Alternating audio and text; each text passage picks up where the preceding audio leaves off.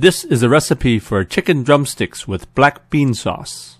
For this recipe, you need chicken drumsticks, fermented black beans, cornstarch, dark soy sauce, ginger, and garlic. Boil some water in a pot. Then pour the boiling water over the chicken drumsticks. Blanch the chicken drumsticks for about a minute. Put the drumsticks in a large dish.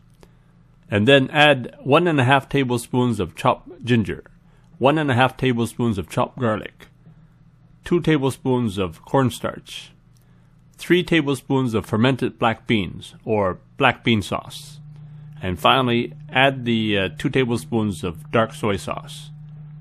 Now you're ready to steam the chicken.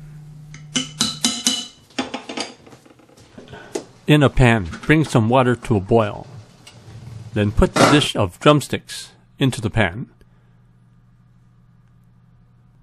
Cover the pan with a lid and steam the chicken for about 30 minutes. When the time is up, take a knife and cut through one of the drumsticks to make sure it's cooked all the way through. Then ladle some of the sauce over the chicken drumsticks just before serving. Be very careful taking the dish out of the pan. It's going to be hot. So there you have it. Steamed chicken drumsticks with black bean sauce. Enjoy.